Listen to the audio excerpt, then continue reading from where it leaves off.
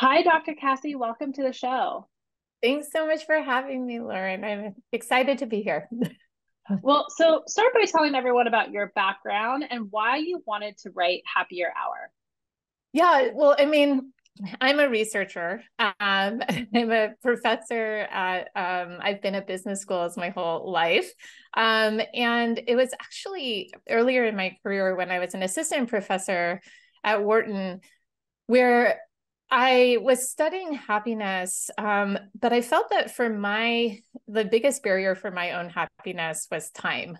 and there was this sort of night that I remember so vividly on the train where I was coming back uh, to Philly from giving talks in New York.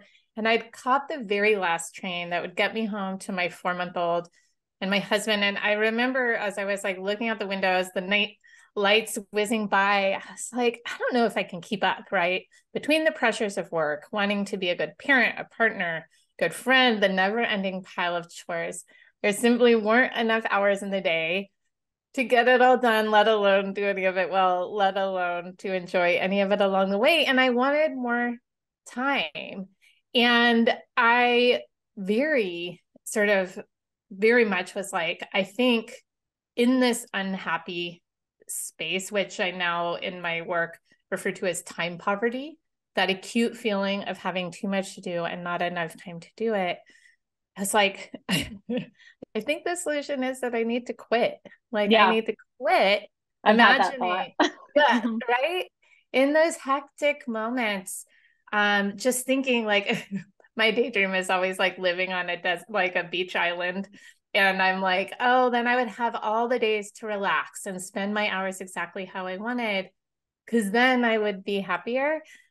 Um, and I can talk about my research that sort of explored whether that is true, whether people who have a whole lot more time are happier.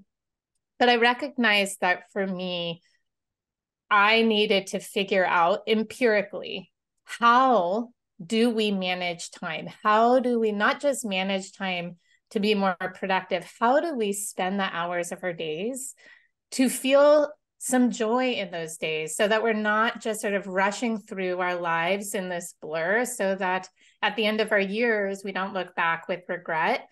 And that's actually been what has determined my research agenda since then. And i um, based off of my research sadly it's an academic not a lot of people read our peer reviewed, you know, papers.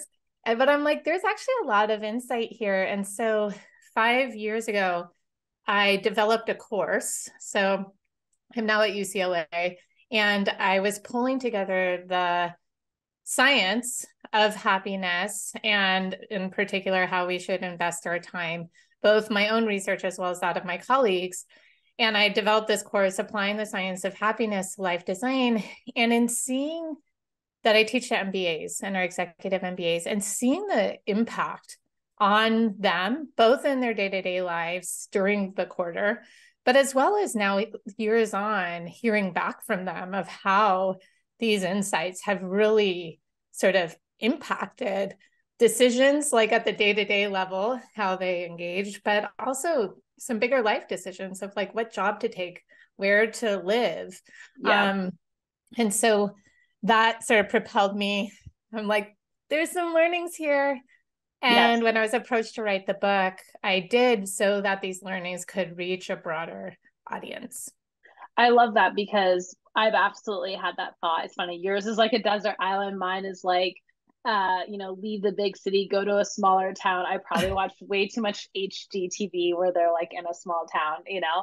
Um, um, I've thought about that. I've also had the daydream of quitting it all, like it's all too much. If I didn't have the job, then all this would be more manageable. Even though there was research that just came out and said that stay-at-home moms work an average of 97 hours a week. So probably I would guess I'm wrong about that, but yeah. um and then the, to your last point when we have a lot of people who come to us who are frustrated with their career and they're trying to figure out what should i do next but i don't want to end up miserable where i am now and so there's this fear of like i don't want to leave this bad situation to end up in another bad situation or my life is a lot different than when I got this job 10 years ago and I want to pivot into something new. What is that? So it's like all these things combine fall into these categories of time management and happiness and where you spend your time and joy like a lot of the words that you're using um and i like that you are thinking about time management more from how we're spending our time and less about how to optimize it. I think a lot of times when people think of time management it's all about how can you multitask more and get more things done in less amount of time. So that's why i'm so excited for this conversation today because i just feel like maybe maybe we need to take a step back from the hacks and the optimization for a second. Um and, so you you like to say that time isn't just the problem it's the solution. Can you talk and explain that a little bit more? Yeah. Um it's the solution because the problem is what we talked about before the sense of time poverty and that this constant feeling of not having enough time to get everything done. And what we find in the research. So i conducted a national poll um, with my team and we found that nearly half of americans feel time poor. Um, moms tend to feel more time poor than dad working parents particularly when your partner is working. But our data showed that all types of people even those who don't have kids and those who don't work for pay to the point that you just made about um, stay-at-home moms that um, the sense of busyness and rushing and this hectic pace of life with too little time is pervasive. And it's the problem because it's also really limiting. Like research shows that when we feel like we don't have enough time it makes us less healthy. We're less likely to exercise. Uh, we don't go to the doctor. We delay going to the doctor. It makes us less nice. We're less likely to help others out. Makes us less confident and it makes us less happy. And so that's the problem and I do want to actually touch back to this daydream and the answer to that of this sense of like, oh, if only I quit, then would I be happier? And this is what we tested. Um, and uh, with a couple of my colleagues, Marissa Sharif, Hal Hershfield, we looked at what's the relationship between the amount of discretionary time people have and their happiness and in our studies, um, across our studies, we saw a consistent pattern of results. And in one of the studies, we were analyzing data from the American Time Use Survey that looks at for tens of thousands of working and non-working Americans, how they spent regular day. And from that, we could calculate how much time they spent on discretionary activities and relate that to their happiness. And what was really interesting is the pattern of results that I mentioned, it's like an upside down U shape. So which is interesting because it suggests that happiness goes down on both ends of the spectrum. Yes, those with too little time who feel time poor are less happy, and that's because they feel more stressed. But on the other end, you see that there is such thing as having too much time.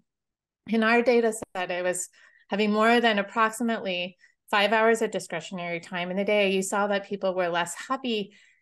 And that's really interesting and important to recognize because well a understanding why like how is it as we're imagining you're living you're imagining like living in a small town me on the beach how could it possibly be that days you know our lives in that in that context would be associated with less happiness? And what we find is that people we are driven to be somewhat productive now, like that is, we are averse to being idle. And so when we spend all the hours of our days with nothing to show for how we spent them, it undermines our sense of purpose. And from that, we feel less satisfied. And this is really important to sort of have in mind because, yes, there are absolutely ways of spending time that don't involve work that contribute to one's sense of purpose, you know, volunteer work, um, enriching hobbies. But I can absolutely say for me, as well as for many, actually, work provides a great source of purpose. And it's understanding like what aspects of like what are the parts of the work that do? What work can you take on that would give that sense of fulfillment? And it cautions us away from quitting everything right? That the answer is actually not that having a whole lot more time would lead to greater happiness um now the solution comes in because what you see in the in the in our results is like yes, it goes down on both ends of the spectrum, but in the middle, it's actually pretty flat. And so that sort of suggests that, except at the extremes, it's not about how much time you have. That's sort of determinant of happiness, is really how you invest the time you have.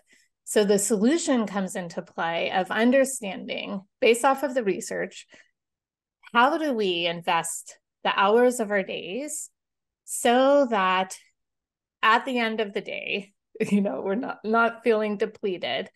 And at the end of the week, even if busy and our schedules are full, we feel fulfilled. Yeah. So that at the end of our lives, we feel, you know, satisfied.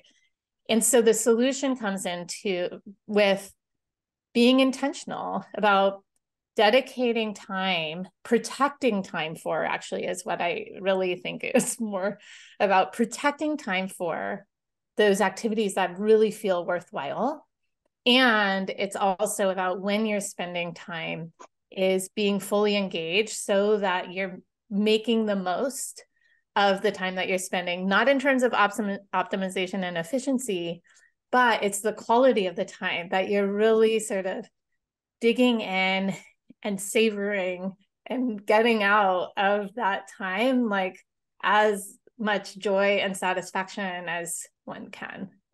It's interesting because my first job out of college was so boring. I had nothing to do. And I remember feeling exactly what you're talking about. I was on the opposite end of the spectrum. I had so much time and I had no purpose.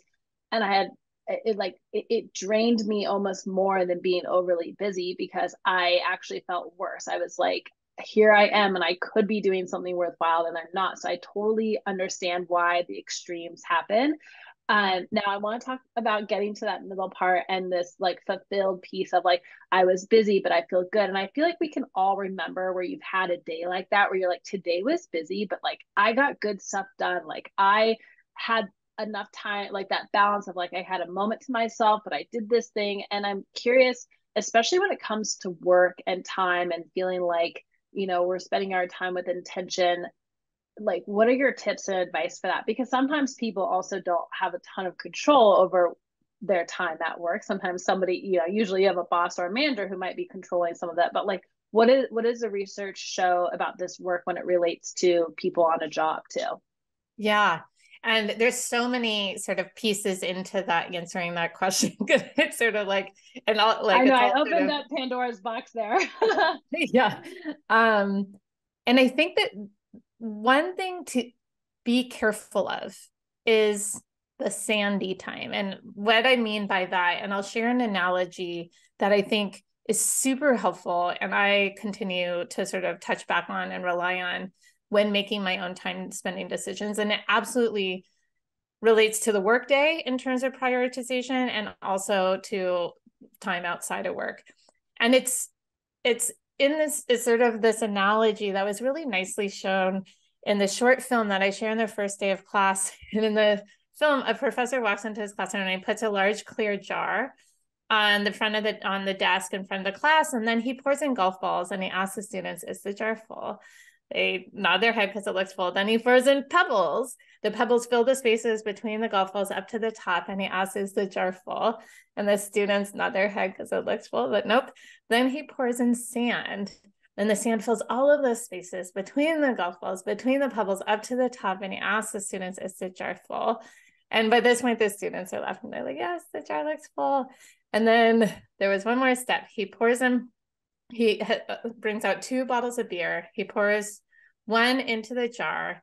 He takes the other and he sort of takes a sip, perching himself in front of the desk, and he explains this jar represents the time of your life.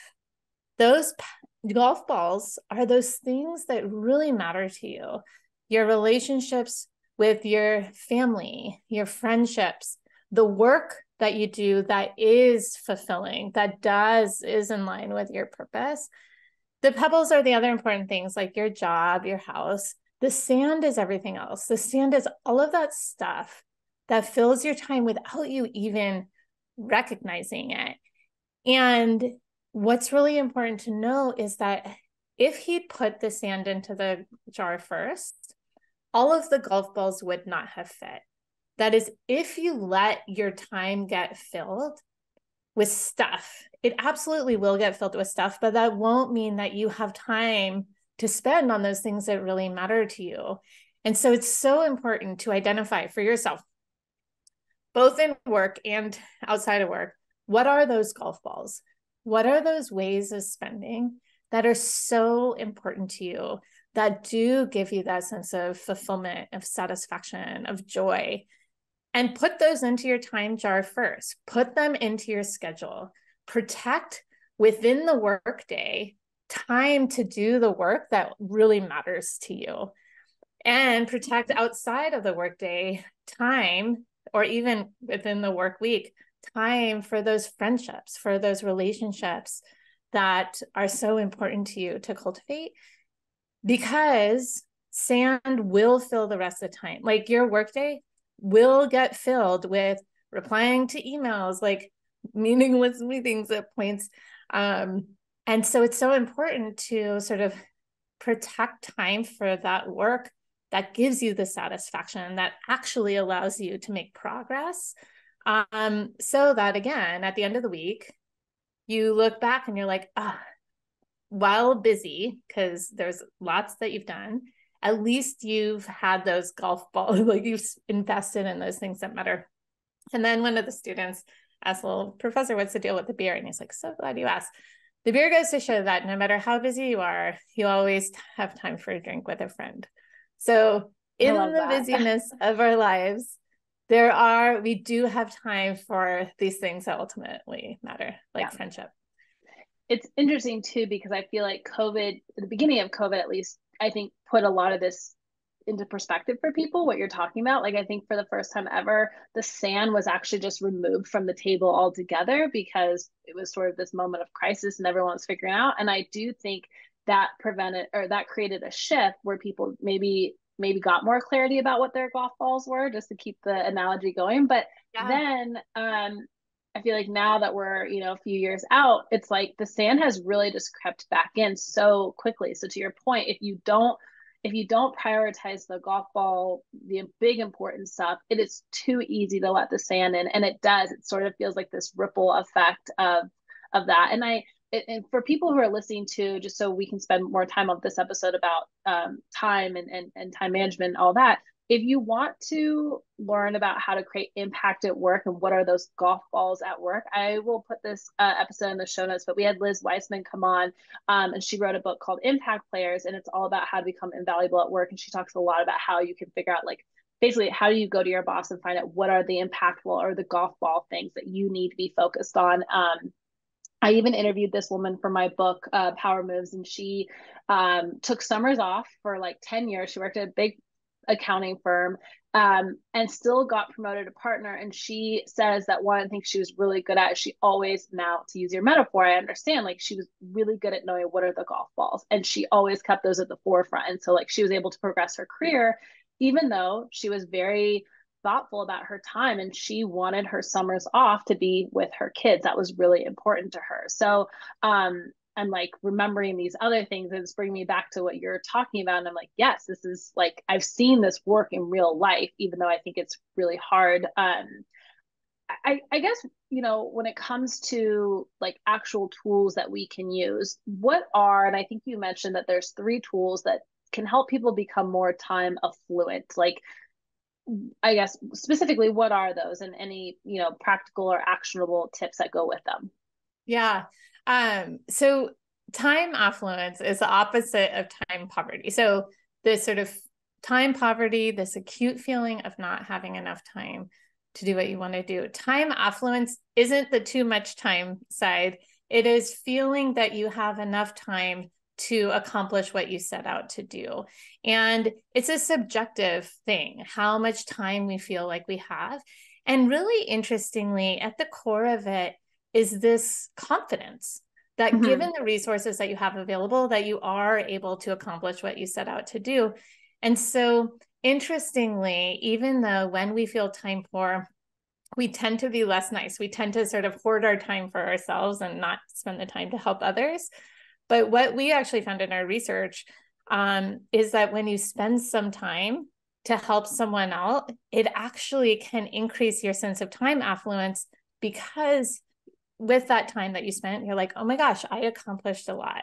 And by increasing your sense of self efficacy, that's sort of like, oh my God, I accomplished a lot with that time. And it increases the sense like I can actually accomplish plenty with the time that I have available. And so by actually spending time on others, it can increase your sense of time affluence. Not having your time taken, though, like not sandy time is often when other people are absorbing our time and requests are coming in when it's just easier to say yes than no.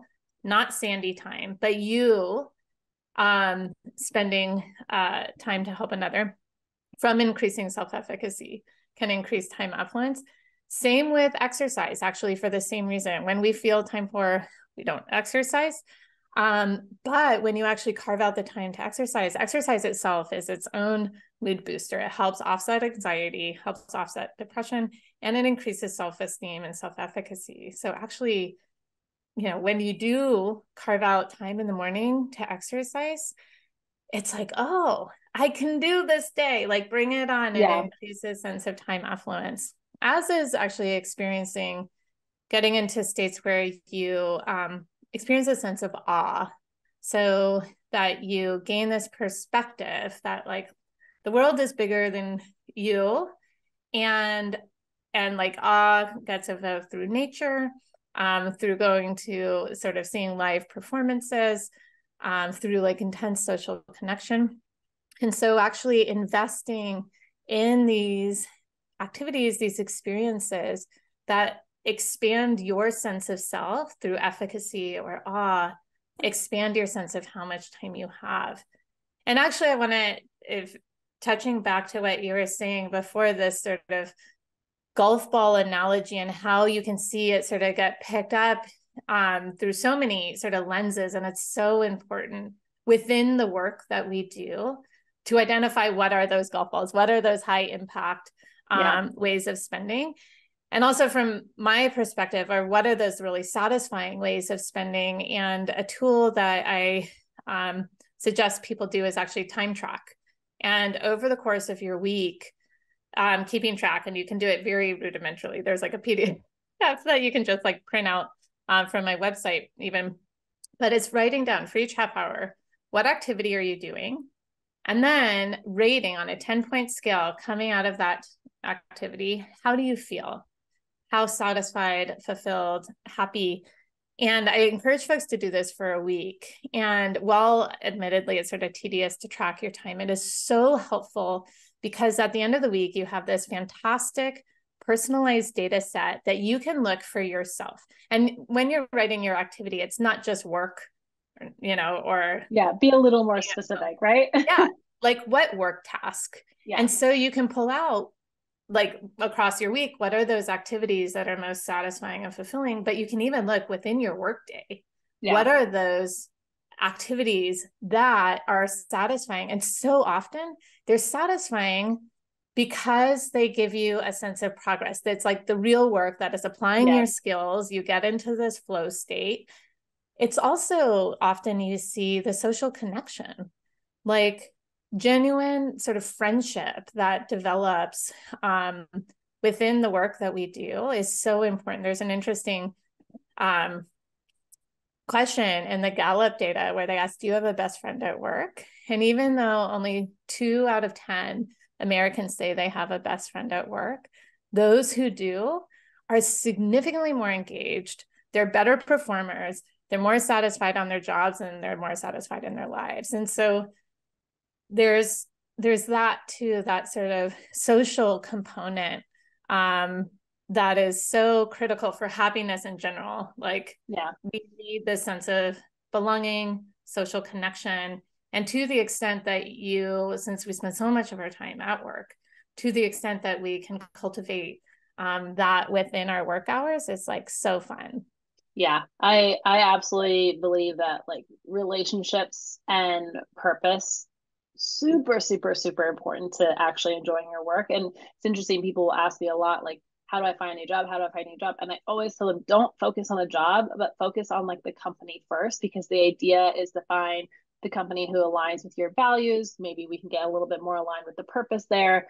And then ideally, people who have similar values to that might work there, relationship building. And it's like, I just feel like in the sea of all the options and the overwhelm that comes with searching for a new job, it's like trying to target or narrow it down to something more simple. To your point, like there's all the job postings are the sand and companies are the golf balls you know a lot more. And I, am going to use this metaphor like the whole yeah great. it really works well. Um i completely agree as someone who had a work best friend at my last company i mean truly a best friend like i still talk to her all the time she was a, a bridesmaid in my wedding it made the days totally different than a job where where I didn't. Um, so I I feel that 100%. I I want to talk a little bit. You you've you've mentioned, um, you know, when we we spend our time with these distractions or these sand things and or you know obviously life is full of distractions and it could be from you know the constant invites or the pressure to feel like you quote should be doing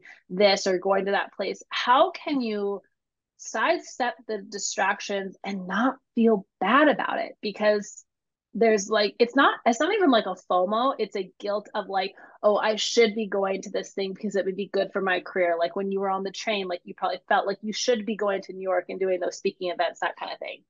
Yeah. And I think that the honestly since we are in love with this golf ball analogy yes. I think when you realize the cost of um letting your time get filled with sand, then it's like, oh, okay. It's like a motivator to be like, I'm not going to do this anymore. Totally. Because um, what happens is then we're going to get burnt out and we're not going to be helpful to our organization, to our careers, or anything. Like when we are spending our days, our years, you know, our careers with sand, we're gonna we're gonna give up at some point yeah right and yeah. actually um with the sort of introspection that we developed from the pandemic, I think we are less tolerant of just sort of moving through the grind um, without a sense of meaning. So, understanding the cost of not saying no is really helpful. And I suggest people use filters from like as these incoming requests um, of purpose and satisfaction and happiness. So, in the purpose, as you were referring to, it's so important to think about like the why of the work and not this general notion of why, which and like productivity, which is a lot of where shoulds come in of like, we should be doing this. But like for you personally, why? Why is that important? And why do you value that? And I share in Happier Hour an exercise to sort of make this identification for you when each individual their purpose a little more tractable but with the five whys exercise. So you know the work that you do why is that important? And then your answer to that is like well why is that important to you? And once you answer five layers of why it really uncovers for you what's really motivating what's driving you. Um, and that can help identify, that can also help identify within your job what are those activities that are going to be the most meaningful because they're having the impact that you care about. But also it can help in the job selection of yeah. like what is what is a job that it might sort of look different because the job description is like maybe that first why but the like the layers below of those next whys is really getting at the core of what what motivates you and so then you can look beyond job description of look at okay like what's the impact that i could potentially have um, which is quite clarifying. So all to say to offset the guilt is just realizing the cost both for you emotionally but also for those around you. Like you're not going to help anyone if you burn out and leave your job right? Yeah. Yeah yeah. So understanding well, the, the goal is not to burn out. The goal is to keep yourself from burning out by creating, you know, these routines and uh, like rituals or whatever you need to do to be able to find a nice and I, I I'm I'm scared about using the word balance, but I'm gonna use it and hopefully we can all take it with a grain of salt. But like find some sort of way to maintain that versus like the high highs and the low lows and the burnout, then the extreme here, you know, yeah. like the we keep learning the same lesson over and over again, which is extremes do not work, right? Like you need the 80 20 rule of like 80% of the time you're in this good, you know, if that's that you, you you feel like your time is being used well. Are you gonna have an extreme moment here or there? Yes, I'm sure you will. But um it's like how can we how can we not? And obviously the research is showing like hey, if you go through your life and it's just busy, busy, busy all the time, you're not going, that's not the way to build a fulfilled life nor career. And I think people know that, but they struggle with like, well, how do I actually do that? So your exercise of the five whys, doing the time tracking and and and keeping track of, okay, where did I feel the most energized, or which of these tasks were the most draining? Um, as we wrap up, are there any other examples or exercises or tips when it comes to trying to make sure that you're spending your time intentionally that you want to share? Yeah. And those tips that we've shown talked about thus far have been about identifying identifying what are those golf balls what are those activities that are satisfying what are those activities that will be fulfilling so that then the strategy comes into play of how do you craft or design a week with protecting time and putting those golf balls into your schedule, like the sort of deep thinking work that you can protect, like log out of email, put your phone away so that you can get into a flow state. And that's really satisfying. So it's like, it's not about sort of quantity of like how many things you do. It is just ensuring that you have spent time during your week on those things that matter and to sort of pull to light the importance of relationships also sort of outside of work of recognizing just how precious our time is. You know like when folks are young they, there's this notion of we have all the time in the world so the urgency is coming from out other people's urgency of like the requests coming in and the shoulds as opposed to like the urgency of like what's important to make sure that i am cultivating in my life now that is going to or cultivate like spending my hours now so it leads to a life um, that is overall satisfying. And there's a couple of um, activities that i suggest folks do. One is quite poignant writing your eulogy. So your own eulogy that is how do you want to be remembered at the end? And this leads you to sort of project to the end of your life and looking back. What do you want people to say about you? Um, what impact do you truly want to have? In writing your eulogy, it leads you to identify for yourself what are your values. And by taking that broader perspective, and you know, some people are uncomfortable with it because they're, you know, it's like, oh, this, I'm uncomfortable with the idea yeah. of death but it's absolutely an exercise about life. What life do you want to live? And when you take that broader perspective of your time, thinking about your years in life overall, that highlights what is valuable and what really matters. And that will inform how you spend your hours today because how we spend our hours sum up to our days, our years, and our yeah. life overall. So our time is precious because yes it is limited but it's also because it is so valuable. It is the sort of substance of our life. It's the experiences that we have and it's the memories that we will have. And it's the one resource we cannot replenish when tomorrow is gone you know tomorrow is gone right? So absolutely. Yeah Oh, this has been so good. Can we wrap up with you letting people know where they can follow your work, get your book, remind them it's it's happier hour, but tell them all the things. Yes. Um through my own time tracking, I learned social yes. media is not my happy space.